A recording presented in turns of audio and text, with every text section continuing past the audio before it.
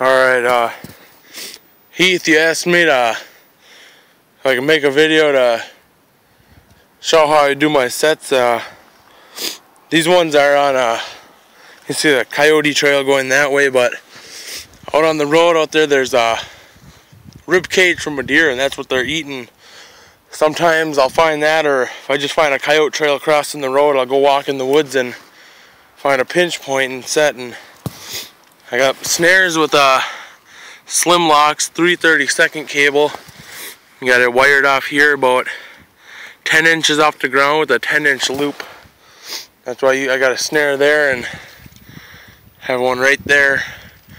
But the most I got, the I mainly use snares. Never caught a bobcat or a coyote in a foothold.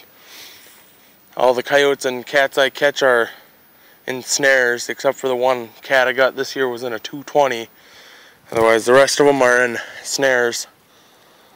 The only animal I trap with footholds are raccoon and uh, beaver. Otherwise, the rest, I'm more, more or less a snareman. I'd rather use snares than foothold. And snow is just too dang deep for me to be using footholds. Probably took me 20 minutes to get out here and it's not even a 50 yard walk.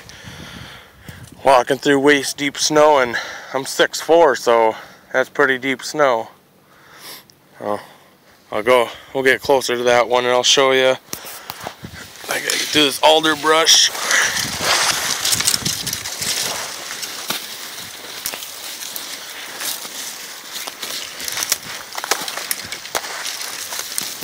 Yeah, this one has about